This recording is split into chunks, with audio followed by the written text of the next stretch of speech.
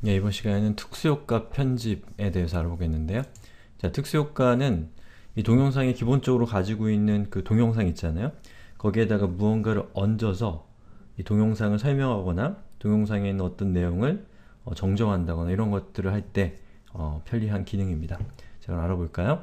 자, 화면은 이렇게 되어 있어요. 위쪽에는 동영상이 있고요. 아래쪽에는 일종의 타임라인이 있는데요. 자, 여러분이 추가하고자 한그 특수효과를 추가하고 싶은 곳으로 타임라인의 요 붉은색 요 지시자를 이동시키는 겁니다. 자, 우선 4분 정도 되는 위치에다가 제가 이렇게 이동을 시킬게요. 자, 그러면 요 빨간색 지시자가 4분 지정으로 이동을 하죠. 그 정확한 위치는 여러분이 이 동영상을 재생시켜 보면서 어, 정확하게 위치를 지정하시면 됩니다. 자, 그리고 만약 위치 지정하는데 좀 불편하다. 그럼 밑에 보시면 이렇게 확대하고 축소하는 버튼이 있어요. 이렇게 하면 확대가 되고 이렇게 하면 축소가 됩니다. 그렇게 해서 확대를 시켜서 좀 더 세부적으로 이 위치를 지정할 수가 있게 되는 거예요.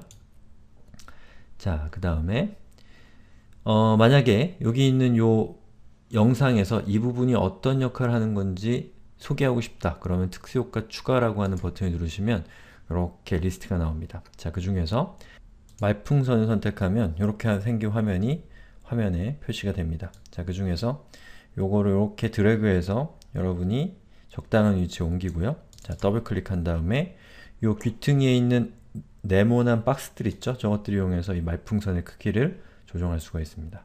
그리고 여기다가 가장 큰 파일이라고 지정을 하는 거죠. 자, 그리고 임팩트라고 하면 뭐 여기 있는 말풍선의 디자인을 좀 바꿀 수 있는 기능인 것 같고요. 자, 여기 그 말풍선에 들어가는 텍스트의 크기, 또 색깔, 배경 이런 것들을 지정할 수가 있고요. 여러분이 수치들을 입력해서 수치를 입력해서 이 말풍선이 언제부터 시작해서 언제 끝나는지를 지정할 수가 있습니다. 자 그리고 여기 보시면 링크라고 하는 checkbox가 있어요. 이걸 체크를 하면 자 이렇게 생긴 화면이 나옵니다. 그 중에서 옆에 보면 combo box가 있는데요. 동영상, 재생 목록, 채널 이렇게 있어요. 예를 들면 동영상을 선택하면 이 동영상이 어, 동영상의 고유한 페이지 있잖아요. 그 페이지를 지정하시면 되는데 자 예를 들면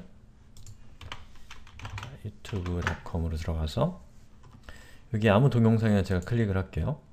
그리고 이 동영상을 표시하는 이 웹페이지 있잖아요. 그 웹페이지를 웹페이지의 URL을 이렇게 복사한 다음에 요 text field에다가 붙여넣기를 하면 되는 거죠. 자, 그리고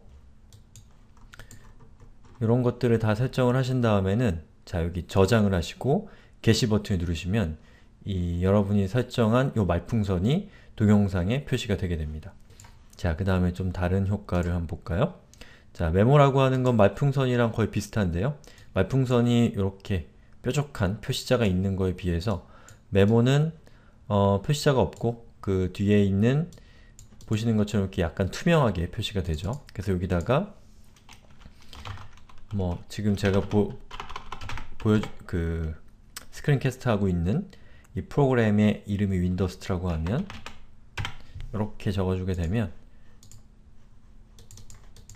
자 이렇게 화면상에서 약간 투명하게 요 현재 동영상을 설명하는 이미지가 추가가 되게 되죠.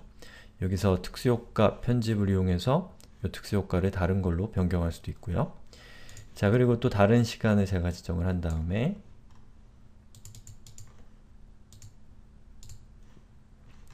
자 특수효과 추가를 해서 제목을 하게 되면 자 여기다가 제가 어, 생활 표현이라고 적어줄게요. 자 그리고 자, 빈 공간을 체크하면 자, 이런 식으로 화면에 표시가 될 거라고 이렇게 나오죠. 시간을 변경하고